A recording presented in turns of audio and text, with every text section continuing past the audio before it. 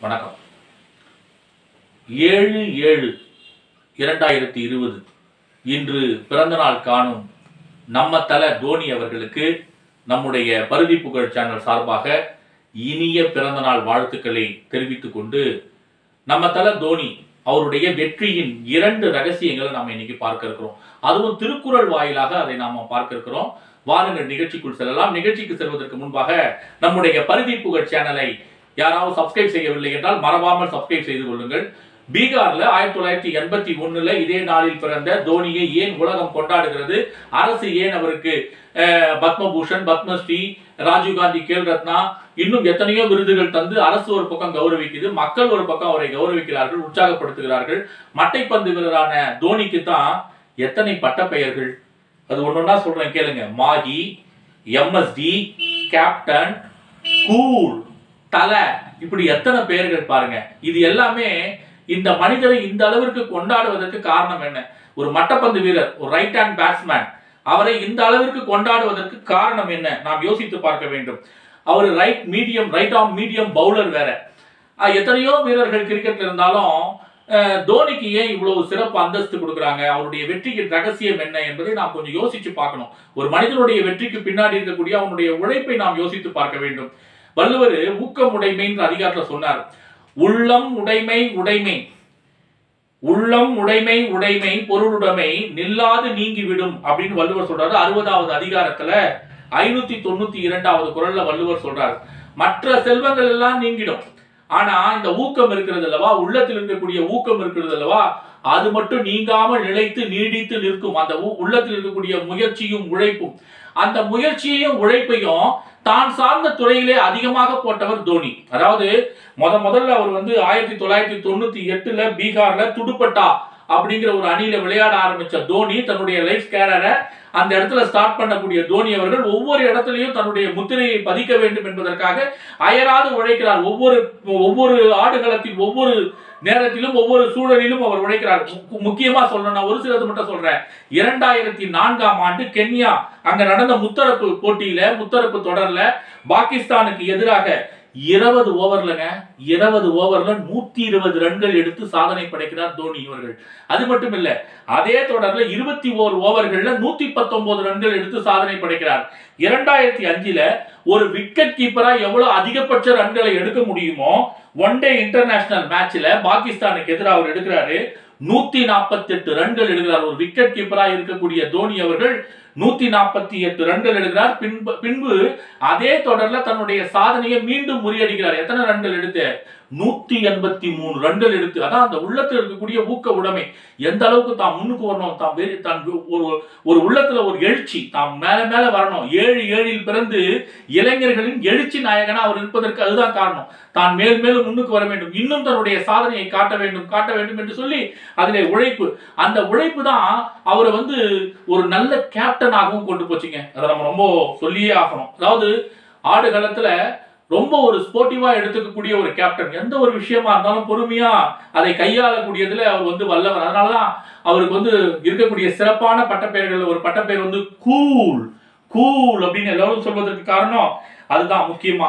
இப்படிப்பட்ட தோனி அவர்கள் இருபத்தி எட்டு வருஷம் நம்ம காத்திருந்தோங்க. ஒரு உலக கோப்பைக்காக கிரிக்கெட் போட்டியில ஒரு உலக கோப்பைக்காக இருபத்தி எட்டு ஆண்டுகள் நம்ம காத்திருந்தோம். தோனியினுடைய இந்த ஹெலிகாப்டர் டெக்னிக் ஹெலிகாப்டர் ஷாட் அந்த ஹெலிகாப்டர் ஷாட் டெக்னிக்கை பத்தி இளைஞர்கள் ரொம்ப லாங்கா பேசுவாங்க. இளைஞர்கள் மட்டும் இல்ல சிறு சிறுசு முதல் பெருசு வரை அத்தனை பேரும் தோனியினுடைய ஹெலிகாப்டர் ஷாட் டெக்னிக்கை பத்தி ரொம்ப லாங்கா பேசணும் இதெல்லாம் அவருடைய சிறப்பு அம்சங்க. தன்னுடைய உழைப்பு உழைப்பு மேலும் மேலும் முன்னுக்கு வர வேண்டும் என்ற உழைப்பு தனக்குன்னு ஒரு பாணி. இதெல்லாம் தான் அவரை வணிக ரீதியான ஒரு கிரிக்கெட் பிளேயரா வணிக ரீதியாக உலகம் மெச்சக்கூடிய ஒரு கிரிக்கெட் பிளேயரா அவருடைய அந்த உடை அவருடைய சிகை அலங்காரம் இதெல்லாம் பார்க்கும்போதே அவர் வந்து தன்னை வந்து தனி தன்னை தனக்கென்று ஒரு தனித்துவத்தை ஏற்படுத்தி கொண்ட ஒரு கிரிக்கெட் பிளேயரா வந்து உலகம் அவரை கொண்டாடுகிறது. இந்த முயற்சி தான் இருபத்தெட்டு ஆண்டுகளுக்கு பிறகு இந்தியா உலக கோப்பையை இரண்டாயிரத்தி பதினோராம் ஆண்டு இறுதி ஆட்டம் ஸ்ரீலங்கால ஸ்ரீலங்காக்கு எதிராக நடந்த ஆட்டம். இருநூத்தி எழுபத்தி அஞ்சு ரன்னுக்கு எதிராக அடிச்சு ஜெயிக்க வச்ச தோனி அந்த ஆட்டத்துல தொண்ணூத்தி ஓரு ரன்கள். அந்த ஆட்டத்தினுடைய ஆட்ட நாயகன் அவர்தான். தொண்ணூத்தி ஓரு ரன்கள். அதுல அவருடைய ஹிஸ்டரி ஹிஸ்டாரிக்கல் சிக்ஸ் அப்படின்னு சொல்றாங்க அவருடைய சிக்ஸர்ஸ அந்த அளவுக்கு அவரை பேசுகிறார்கள். ஒரு கேப்டனாக இருந்து தன்னுடைய அணியை வழிநடத்துவதில் அவர் வந்து ரொம்ப மெச்சத்தக்கவராக பார்க்கப்படுகிறார். தோனி அவர்கள் ரொம்ப உலகமே மெச்சத்தக்கவராக பார்க்கக்கூடியதற்கு காரணம் அவருடைய பொறுமை. வள்ளுவர் சொல்றாரு பொறை உடைமை அப்படிங்கிற ஒரு அதிகாரம். அந்த பொறை உடைமைன்ற பதினாறாவது அதிகாரத்துல நூத்தி ஐம்பத்தோராவது குறள் அகழ்வாரை தாங்கும் நிலம் போல தம்மை இகழ்வார் பொருத்தல் தலை அப்படின்னு வள்ளுவர் சொல்றாரு. தம்மை தோண்டுபவரையே தாங்கி நிற்கும் பூமி. அதுபோல தம்மை இகழ்பவர்களை பொறுத்து கொண்டிருக்கக்கூடிய அந்த பொறுமை குணமானது தலை சிறந்தது என்று வள்ளுவர் சொல்றார். ஒரு தலைமை ஸ்தானத்தில் இருக்கவனுக்கு என்ன வேணும் சொல்லுங்க? ஒரு தலைமை பதவியில் இருக்கிறவங்களுக்கு ஒரு ஆளுமை நிறைந்தவர்களுக்கு என்ன வேண்டும்? முக்கியமானது ஒரு ஆளுமை பண்பு மிக்கவர்கள் என்று ஒரு ஹையஸ்ட் பர்சனாலிட்டின்னு ஒருத்தர் யாரை சொல்றோம்னு சொல்லுங்க பார்ப்போம்.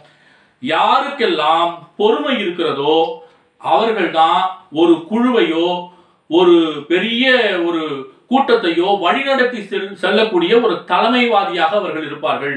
அந்த வகையில இந்திய அணியை தலைமை வழி நடத்தி சென்ற தோனியினுடைய பொறுமைக்கு கிடைத்த வெற்றி தான் இரண்டாயிரத்தி பதினோராம் ஆண்டு இருபத்தி எட்டு ஆண்டுகளுக்கு பிறகு இந்தியாவுக்கு கிடைத்த உலகக்கோப்பை. இந்த உலகக்கோப்பை வெற்றிக்காகவே தோனியை இன்னும் நூறு ஆண்டுகள் கொண்டாடலாம் கொண்டாடலாம் என்பது இந்த பதிவிலிருந்து நாம் உங்களுக்கு சொல்ல இருப்பது.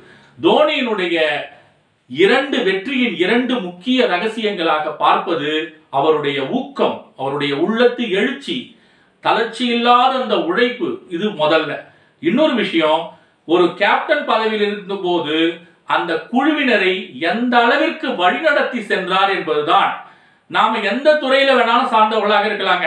நமக்கு ஒரு தலைமை பதவி வரும்போது நாம் பொறுமையோடு அணுகி நம்மை சார்ந்தவர்களை வழிநடத்தி சென்றால் அந்த துறையில் தோனி போல நாமும் வெற்றி அடையலாம் நாமும் ஹெலிகாப்டர் ஷாட் அடிக்கலாம். நம்முடைய ஷாட்டை பற்றியும் இந்த உலகம் லென்த்தியாக பேசும். உங்களுடைய வெற்றியை பற்றியும் இந்த உலகம் நம்முடைய வெற்றியை பற்றியும் இந்த உலகம் தோனியை போல பேசும்.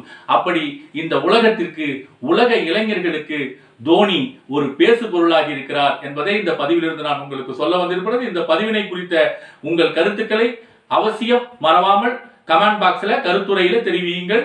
இந்த பதிவினை அவசியம் மறக்காமல் ஷேர் செய்யுங்கள். சப்ஸ்கிரைப் செய்யுங்கள். நன்றி. வணக்கம்.